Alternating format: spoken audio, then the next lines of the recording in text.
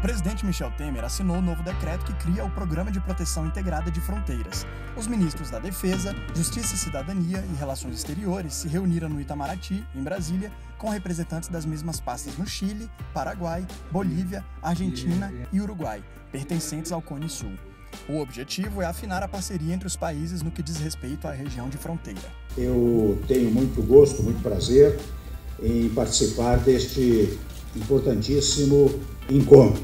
Chamamos essa reunião com o ministro da Justiça, com o ministro das Relações Exteriores, ministro da Defesa, para tratarmos da questão eh, da segurança, digamos, eh, transnacional. Na nossa perspectiva, o crime é cada vez mais transnacional. O enfrentamento desse crime que é organizado precisa ser feito de maneira transnacional também.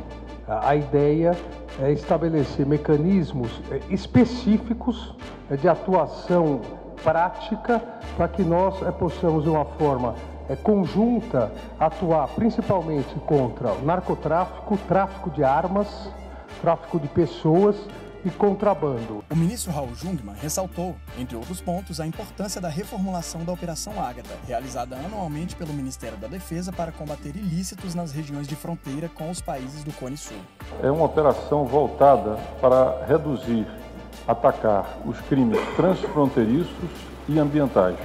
Nós fazíamos a Operação Ágata, uma operação gigante, que era realizada uma vez por ano.